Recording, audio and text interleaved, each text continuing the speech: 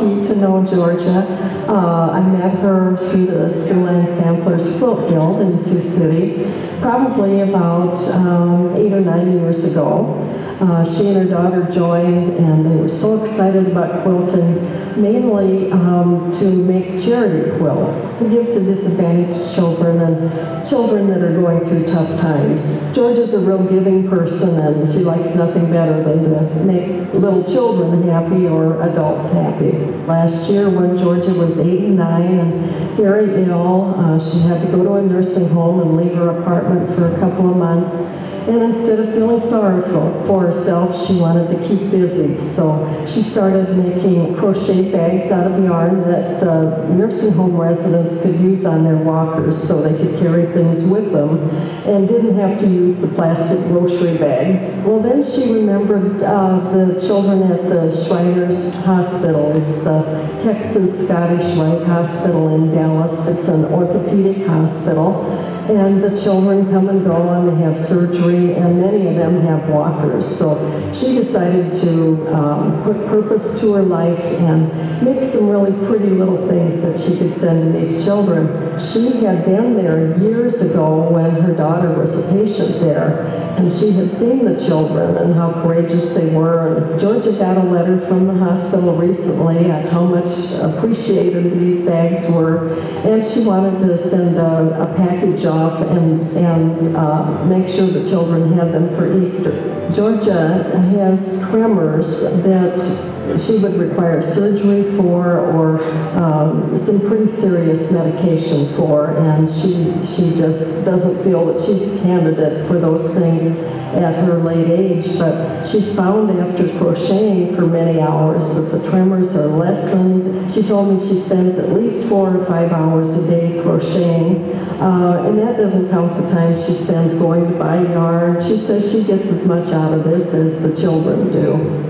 Here's an example of the pretty work that Georgia does. She likes all of them to be different. She embroiders, she crochets, and she buys the nicest buttons she can find. Here's another example of a project Georgia designed and, and made to give out. These were intended for the homeless individuals at the warming shelter. I was surprised to get a call from Georgia recently. Uh, she doesn't call me for help very often, but she needed my help. She wanted to hem some sheets for the local warming shelter. She'd heard a story that they were turning uh, Sioux City residents away during a cold spell because uh, there just wasn't enough um, cots and beds for them. So she um, decided to take her Christmas money uh, that she had personally received and go to a sale at a local department store and buy the nicest flannel sheets she could find and um, hem them herself and donate them to the warming shelter. I said, I have friends, we have sewing machines, we'll get together and we'll, we'll help you with your project. I received a call asking if we could use sheets, and uh, um, we said most definitely we could use them because of the bunk beds and the mattresses. And a short time later, I received a call and saying that the, the sheets were ready and when could we drop them off. The, the sheets are important to our residents because it creates a more home-like environment for the people there. Um, for the time before that, we'd give them comforters or blankets to sleep on, but essentially they'd sleep right on the bare surface of the cot when we received our bunk beds that had mattresses on them, with the sheets we were able to put the sheets on the bed and on the mattresses and make them seem a little bit more like home. And for the people that are there that have absolutely nothing, uh, it brought home the fact that somebody out there really cares about them and wants them to have a good life and good future. If Jojo were here today, I would just say thank you for the warmth of your heart and for thinking of people that probably you'll never see, that, uh, that can never pay you back or thank you. I know she's loved at her church and uh, places she's worked. She's been a nurse in Sioux City. She taught Sunday school. Uh, just a wonderful wife and mother and um, someone who her whole life gave back to the community. She's an inspiration. She doesn't want to take credit for all of the good things that she does, but I said, for example, like the warming shelter project wouldn't have happened if it wouldn't have been for her. She's the one that got the whole thing going. So uh, I love talking to her, I love hearing her stories, and she's an inspiration to me and all of my friends to use our talents and our, our time to help other people.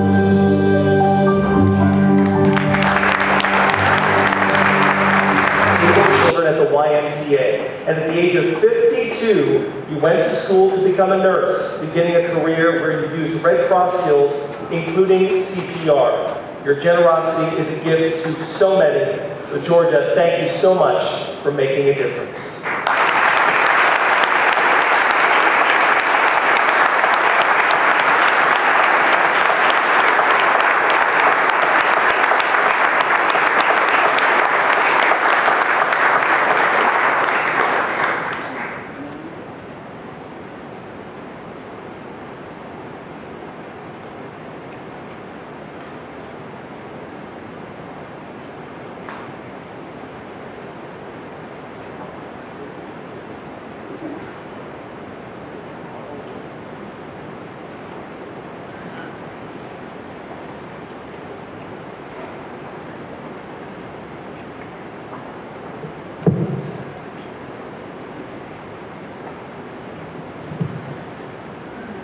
Think right now I need help remembering my name.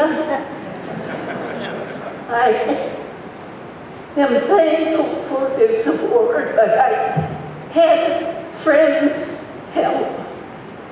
And they don't like to take credit, but they helped me.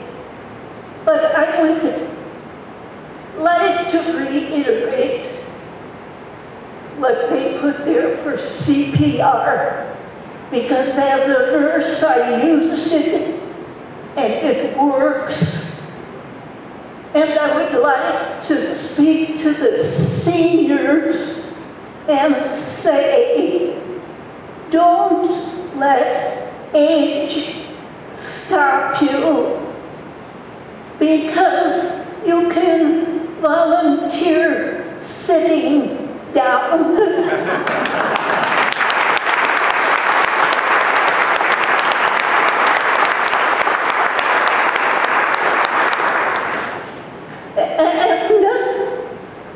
I have been lucky.